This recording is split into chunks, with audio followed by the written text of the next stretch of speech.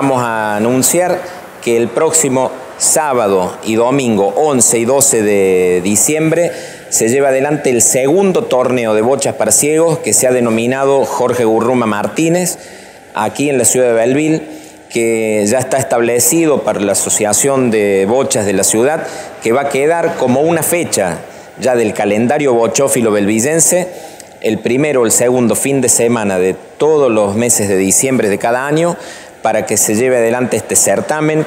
que reúne a bochófilos ciegos de todo el país y que le da la oportunidad a nuestros deportistas ciegos de participar, integrarse y lucirse a algunos que han salido campeones y subcampeones, así que para nosotros es un agrado acompañarlos. En el caso de COSU Global, hace el aporte de la logística, el aporte de trofeos, el acompañamiento permanente que hacemos siempre a, los deportistas ciegos. Así que para nosotros realmente, como decimos, un agrado e invitamos a la ciudadanía que vaya a participar. La apertura se hace el sábado a las nueve y media de la mañana, ahí en las canchas de bochas del Club River, así que los invitamos a toda la ciudadanía. Es un campeonato, como lo dijo Germán, eh, interprovincial, el segundo que hacemos. Eh, tendría que haber sido el tercero, pero la pandemia no nos dejó el año pasado.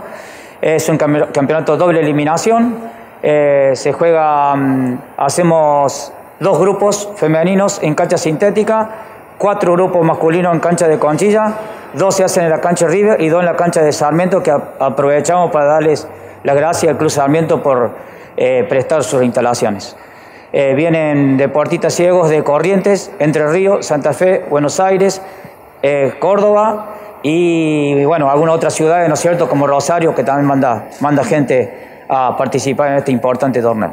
Sí, estamos muy, muy contentos de poder albergar a toda la gente de ciegos y bueno, dándole un poquito de un granito de arena de la parte que a uno le corresponde, ¿no? La instalación es muy buena, eh, como decía bien el, chico que necesita otra sede más porque hay mucha, mucha gente, por suerte, que viene de todos lados y bueno, eh, tratando, son experiencias nuevas para uno y tratando de aportar, como vuelvo a repetir, un granito de arena para la gente que lo necesita.